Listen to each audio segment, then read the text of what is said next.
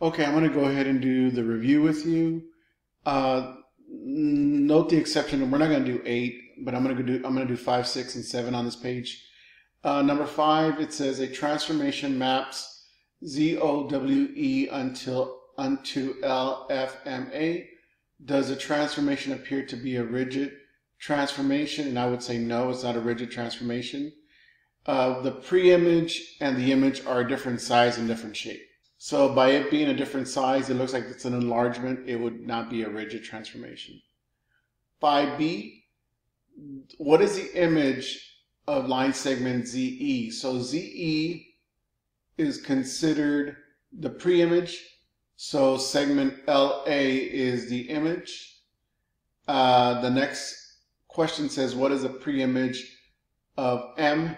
And we know that the pre-image is point W. Six, I went ahead and drew the pre-image triangle RST. Uh, what we're going to do now is I'm going to do the transformation, which at first I saw it wrong. So the transformation is negative 4. That means it's going to go 4 units to the left, and then it's going to go up 7 units.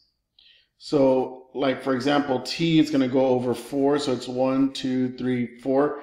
It goes out of the graph, and it's going to go up uh, seven, uh, eight units, which is going to be seven, negative four, seven. So I'm going to go ahead and enlarge this. So it's going to be around here roughly. So that's T prime. Uh, let me go to make a different color. T prime. Uh, we have S prime, which is negative six. One, two, three, four, five, six. So that's S prime. And then R prime is going to be negative four, um, and we say it's going to be a negative 3. So it's going to be 1, 2, 3. And I'm going to go ahead and stop. So just to make sure that I'm doing this correctly.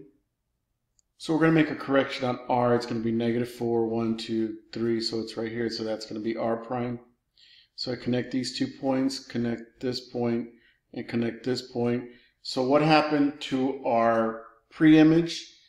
It shifted 4 units to the left and seven units up. And uh, here is the rule for number six. Number seven, it was asking for us to write a rule. And so I did write a rule. We have T, which stands for transformation. Uh, we're going to move five units to the left. So it's five minus five and then 10 units up. P stands for the pre-image and P prime stands for the image. So there it goes. Given points A, which is 6, 4, B, which is negative 2, 1, and 5, 0. Graph triangle ABC and each reflection. So R stands for reflection over the x-axis triangle ABC, and I went ahead and did that right here. And so for number 9, it's going to be a reflection over the x-axis. And this right here is your image, triangle ABC. So it's the x-axis. So what I'm going to do is I'm going to go ahead and highlight uh, the line of reflection. You notice that C will stay there. So that C is going to is actually on the line of reflection, so that's going to stay there. A prime is one, two, three, four. One, two, three, four. So that's A prime. B prime, we have one, so it goes down to one, so that's B prime. And so we're going to go ahead and connect uh, our two triangle, our two, our three points. And so this is the image and there's a pre-image. And one thing I did ask you to notice was that when you, when you cross or you reflect over the x-axis, the y values are the ones that are going to change, right? That's what we discussed. Okay, number 10, it says uh, you want to find the reflection you want to find the reflection of the image over the line x equals 4, and we have triangle ABC. So we're going to have to do a vertical line. I'm going to go ahead and draw that vertical line. I'm going to make it a different color. I'll make it dark green. So we have x equal 4. So here's x equal 4. Here's the line of reflection. And yes, if we had to make a prediction, we know that A prime will be over, I mean, triangle ABC, the pre-image will be overlapping somehow. So we're going to go ahead and do A prime.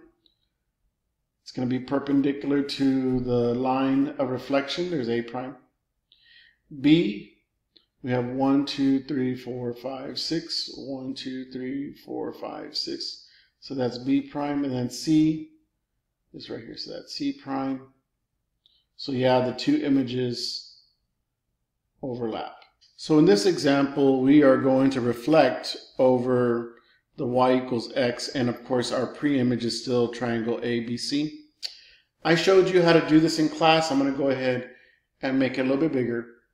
Uh, if we're going to reflect A over y equals x, then what you do is you, you're going to go ahead and go up until you meet the line. So you're going to go up two units, and then you're going to go to the right two units. So that's A prime. So what you're actually doing with x and y, you're just uh, kind of switching them. So we have five zeros, so it's one, two, three, four, five.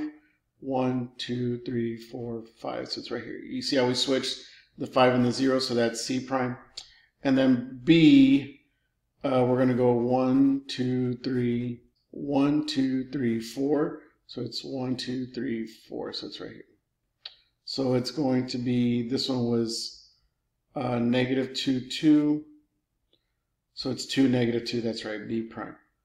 And so there is our reflection over y equals x. There's a reflection of y, y over y equals x. It says copy the diagram, then draw R reflection over the y-axis. So I'm going to go ahead and give it a darker color. So I know that's the mirror. So there's a mirror. Now you notice that H is going to stay there. H doesn't go anywhere. So we're going to reflect B, G, H, T. That's the, that's the, uh, that is the uh, pre-image. So B is going to be uh, 1, 2. So this is B prime. Uh, T is going to be right here. So that's T prime. And that's one unit to the right. And G was 1, 2, 3. Three units to the right. So it's going to be 1, 2, 3 uh, three units to the left, that's G, and this is H. So there's our image, and there's our reflection. What are the coordinates of R is a uh, rotation 180 degrees about the origin. So what I'm going to do is I don't have to graph it. I'm just going to say R 180 degrees about the origin, and we're talking about point negative 4, 1, right? So I know that um, when I rotated, when I rotated 90 degrees, this will be negative 1, negative 4. Once I rotate it again, let me, let me do the correct notation. When I rotate it, uh, negative 4, 1, that's going to be negative 1, negative 4. When I rotate it again, it's going to be 1, it's going to be, when I rotate it again, it's going to be 4, negative 1. So that's going to be the answer for negative 1. And I think uh, the pattern that we realized for the rule was uh, negative x, negative y.